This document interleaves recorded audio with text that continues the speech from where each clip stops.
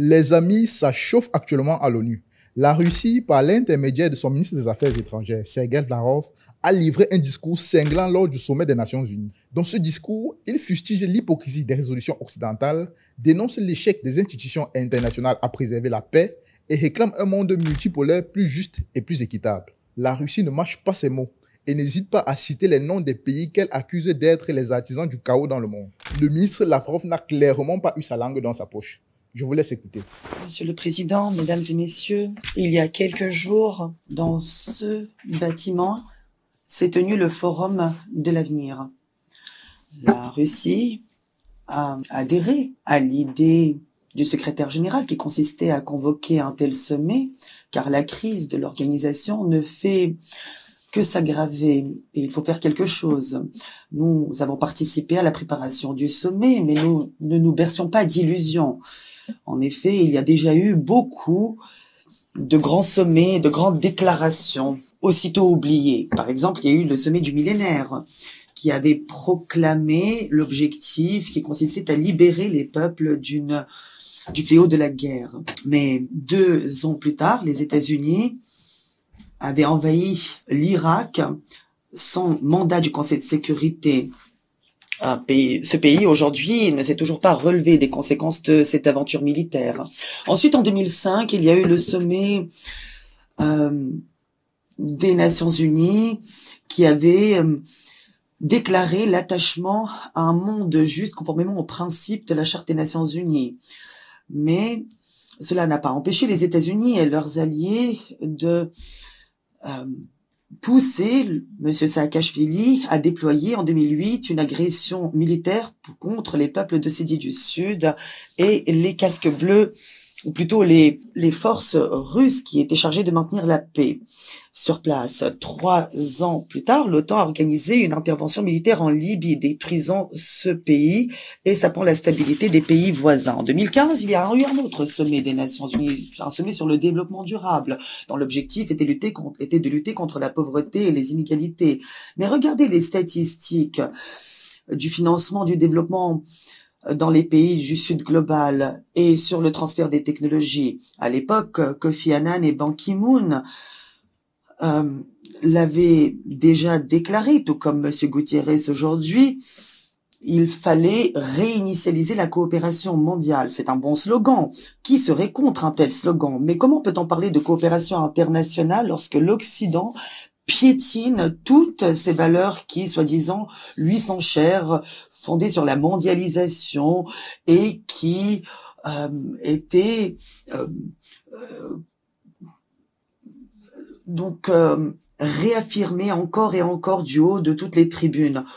Où est la présomption d'innocence? Où est la liberté d'expression, l'accès à l'information, la concurrence non faussée sur les marchés, sur des règles claires.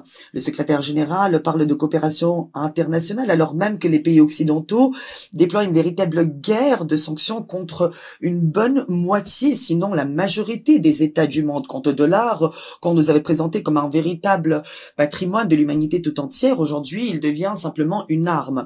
60 ans que se poursuit le blocus de Cuba alors que la majorité euh, de la communauté internationale réclame la levée de ce blocus.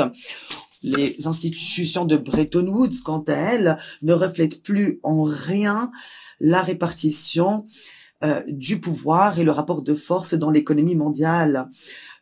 Pourtant, l'Occident veut encore et toujours euh, promouvoir ses propres objectifs en s'appuyant sur ses institutions et ses structures. Comme l'a montré le sommet de l'avenir, on cherche encore à diluer le caractère intergouvernemental de notre organisation.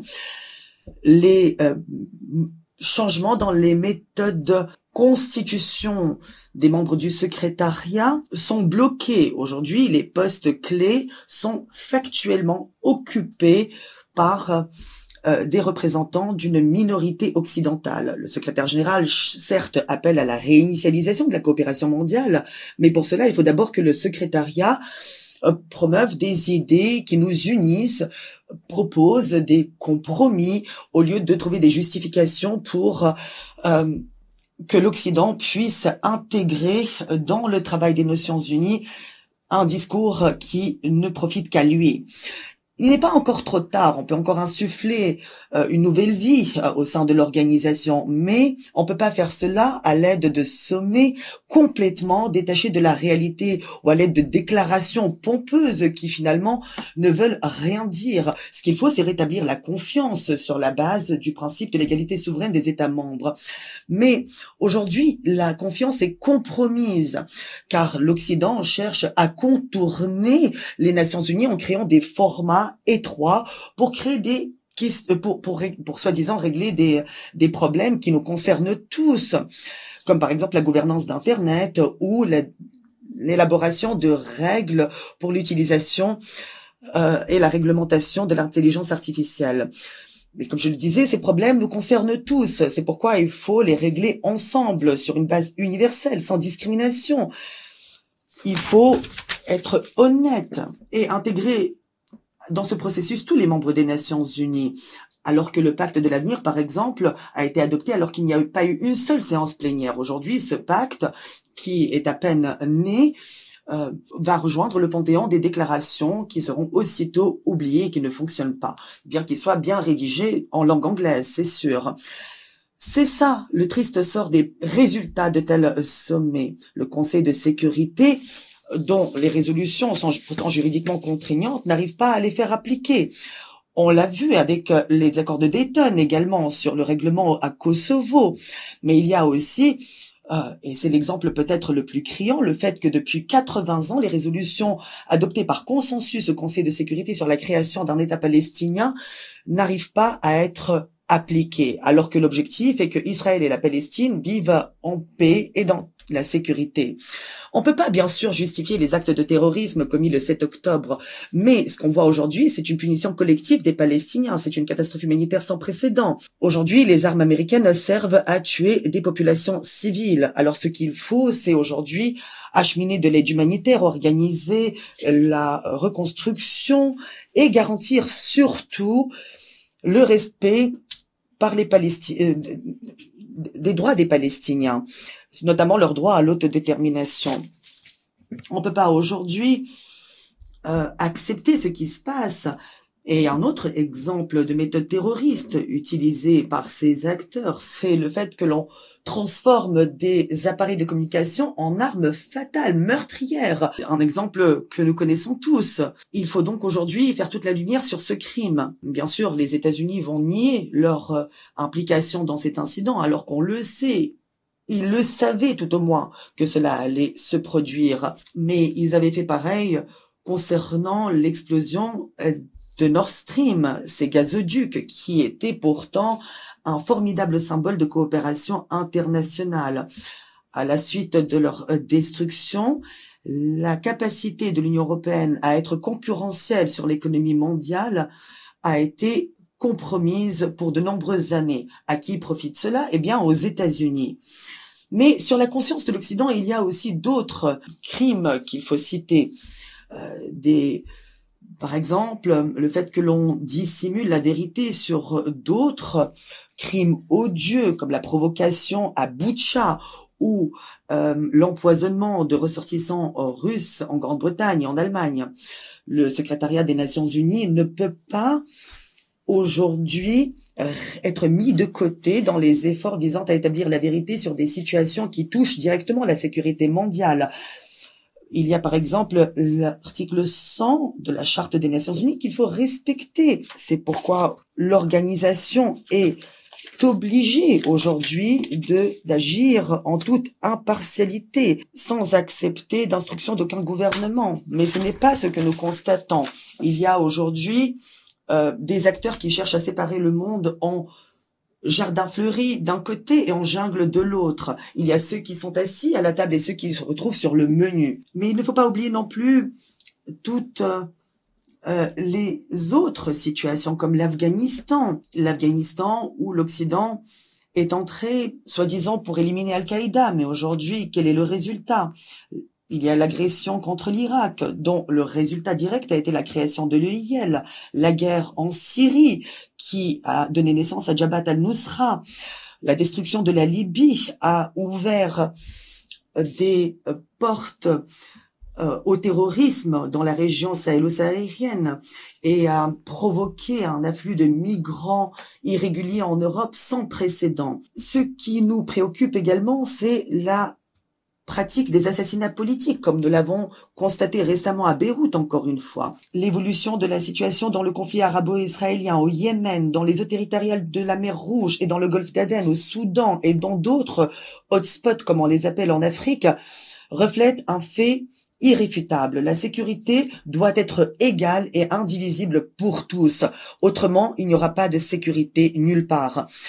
C'est une vérité pourtant simple que la Russie, pendant des années, a essayé de faire comprendre à Washington, à Londres et à Bruxelles, alors que ces derniers sont empêtrés dans leur complexe et s'estiment euh, exceptionnels. Ils euh, agissent en toute impunité, malheureusement. Et pourtant, ils avaient promis de ne pas élargir l'OTAN. En 1999 et en 2010, ils avaient signé des documents officiels à l'issue de sommets de l'OSCE et se sont engagés à ne pas garantir leur sécurité au détriment de celle des autres. Mais, de facto, l'Alliance de l'Atlantique Nord, l'OTAN, depuis trois décennies, mène une véritable expansion militaire et géopolitique en Europe et tente à s'implanter en Transcaucasie, en Asie centrale, créant une menace directe pour notre pays. L'Occident ne parle plus de coopération internationale dans ce contexte, alors que le secrétaire général en rêve. Aujourd'hui, dans les documents euh, de doctrine militaire des pays occidentaux, on accuse directement la Russie, la Chine, le Bélarus, la RPDC, l'Iran d'être une menace pour leur propre hégémonie, leur domination. On a déclaré un, objectif contre la Russie. On veut infliger à la Russie une défaite stratégique, comme Londres et Washington l'avaient déjà planifié en mai 45, lorsqu'ils avaient élaboré, avant la fin de la Seconde Guerre mondiale, l'opération Unthinkable, impensable, pour détruire l'URSS. C'était une opération euh, gardé dans le plus strict secret. Mais aujourd'hui, les stratèges anglo-saxons ne dissimulent même plus leurs objectifs. Bien sûr, ils essayent de vaincre la Russie en utilisant un régime néo-nazi à Kiev. Et ils préparent la Russie à un véritable suicide. Mais on comprend tous combien il est absurde de parler de défaite stratégique quand on parle d'un pays comme la Russie, qui est une puissance nucléaire, comme tout le monde le sait. On, essaye également de promouvoir ce qu'on appelle la formule de la paix. L'accident parle sans honte de la Charte des Nations Unies. Elle invoque pour défendre soi-disant l'intégrité territoriale de l'Ukraine. Mais j'aimerais rappeler à nos collègues au secrétariat des Nations Unies que la charte ne parle pas seulement d'intégrité territoriale, elle parle aussi du respect des principes d'égalité et d'autodétermination des peuples. C'est ce qui a servi de base juridique au processus de décolonisation, qui n'est d'ailleurs pas achevé jusqu'à aujourd'hui. Et en 1970, l'Assemblée générale avait, à l'unanimité, adopté une déclaration sur le respect de l'intégrité territoriale des États dont les gouvernements respectent le droit de leur peuple à l'autodétermination. Je souligne que c'est une déclaration adoptée à l'unanimité par l'Assemblée générale des Nations unies après de longues années de discussions et de débats laborieux. Et euh, je n'ai pas à vous prouver que les néo-nazis ukrainiens qui ont pris le pouvoir par la force à Kiev à la suite d'un coup d'État sanglant appuyé par les États-Unis en février 2014 ne représentait pas et ne représente toujours pas la population russe de Crimée, du Donbass et de la Nouvelle-Russie. Or, les dirigeants occidentaux euh, ne parlent pas des droits euh, de ces populations. Nous le savons, aujourd'hui, la langue russe avait été interdite légalement dans tous les domaines, dans l'éducation, dans les médias, dans l'art, dans la culture et même dans la vie quotidienne.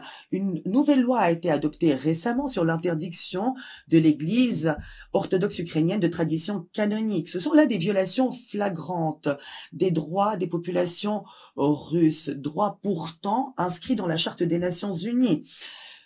À cela vient s'ajouter la menace qui pèse sur la sécurité de la Russie et sur celle de toute l'Europe d'ailleurs, menace qui émane du régime de Kiev. C'est pour éliminer ces menaces que nous avons lancé l'opération militaire spéciale. Notre objectif est de protéger notre pays, d'assurer sa sécurité pour les générations actuelles et futures. Certains de nos partenaires, certes, cherchent à assurer euh, la médiation dans cette situation et nous apprécions d'ailleurs à leur juste valeur leur démarche constructive. Contrairement à cette euh, soi-disant formule de la paix, leurs efforts sont vraiment utiles. Mais nous appelons encore et toujours à prendre en considération les causes profondes de cette situation. Si ces causes profondes ne sont pas éliminées, il n'y aura pas de paix réelle ou pérenne. Pourtant, Vladimir Poutine, le 14 juin, avait proposé un plan réaliste de règlement de cette situation. Mais Kiev et leurs sponsors, et ses sponsors, euh, ont tout fait pour saper toute perspective de négociation. Cette agressivité et cette hypocrisie sans précédent de la politique occidentale vis-à-vis de la Russie anéantit euh, toute perspective de coopération mondiale euh, affirmée par le secrétaire général et bloque le fonctionnement de l'ensemble du système de gouvernance international, y compris au Conseil de sécurité. Ce n'est pas nous qui avons choisi de procéder de la sorte. Ce n'est pas à nous d'assumer la responsabilité des conséquences de cette politique dangereuse. Pourtant, si l'Occident ne change pas de cap, eh bien, les conséquences se feront sentir partout dans le monde. La majorité des États dans le monde c'est que la confrontation et l'hégémonie ne régleront pas les problèmes du monde. Ils ne font qu'entraver le processus de création d'un monde multipolaire qui devrait s'appuyer sur l'égalité des droits de tous, nations petites comme grandes nations. Il faut respecter la valeur de la vie humaine, l'égalité entre les hommes et les femmes, ainsi que le principe d'ingérence dans les affaires intérieures des États. D'ailleurs, euh, ce principe n'a pas été inscrit dans le pacte euh, euh, et n'a pas été évoqué au sommet de l'avenir, car certains ont cherché à le bloquer, avec les États-Unis et leurs satellites en tête de liste. Le 18 septembre, euh, il y a eu un forum à Saint-Pétersbourg au cours duquel le président Poutine avait souligné la nécessité d'unir les efforts au nom du développement durable de tous et de la sécurité indivisible et égalitaire. Il est important de, que le Sud global et les pays d'Europe orientale fassent valoir leurs droits. Ils l'exigent depuis trop longtemps et ils doivent pouvoir et l'Orient aussi, de manière générale, doit pouvoir participer de manière plus constructive au règlement des problèmes du monde. Il y a l'Organisation de coopération de Shanghai, l'Union africaine, la CARICOM, la Ligue des États arabes, l'Union eurasiatique économique, la CEI, l'ASEAN, le Conseil de coopération des pays du Golfe et d'autres organisations qui pourraient jouer un rôle plus important. Il y a aussi les BRICS qui créent des possibilités d'harmonisation des approches pour trouver des mécanismes de coopération mutuellement bénéfiques qui ne seraient pas contrôlés par des acteurs extérieurs et ne seraient pas soumis à leurs dictates. Tous ces processus objectifs devront être pris en considération au G20 ou au G7. On ne pourra plus commander comme on l'a fait autrefois. Cette époque est presque révolue. Il faut aujourd'hui tirer les enseignements des euh, expériences passées. Notre pays a lancé des initiatives en vue de créer une architecture inclusive de sécurité indivisible et égalitaire dans l'espace eurasiatique. Et j'aimerais souligner que c'est un dispositif qui est ouvert à tous les États, à toutes les organisations du continent qui seraient prêts à travailler de concert pour trouver des solutions acceptables pour tous en utilisant l'interconnectivité et les avantages concurrentiels de tout un chacun dans cet espace. D'ailleurs, une conférence internationale sera organisée bientôt à Minsk le 31 octobre et parlera de ces questions. Nous ne rejetons pas le dialogue avec l'Occident, il faut le dire. En juillet, sur proposition de la Russie, il y a eu des débats ouverts du Conseil de sécurité sur la question de la mise en place d'un ordre mondial plus durable et plus juste. Pour nous, il est important de continuer de discuter ici aux Nations Unies comme dans d'autres instances. Un ordre mondial plus juste suppose néanmoins une représentation plus large du Sud global au Conseil de sécurité des Nations Unies. Nous confirmons donc notre position à l'appui des candidatures du Brésil et de l'Inde et sur l'approbation des initiatives de l'Union africaine. Évidemment, on peut même pas parler de d'octroyer des sièges supplémentaires aux pays occidentaux qui sont qui sont déjà surreprésentés au Conseil de sécurité. Quoi qu'il arrive, la Russie sera toujours du côté du travail collectif, du côté de la vérité, du droit, de la paix, de la coopération. C'est la raison pour laquelle il y a eu l'initiative du groupe des amis du Venezuela pour la défense de la Charte des Nations Unies.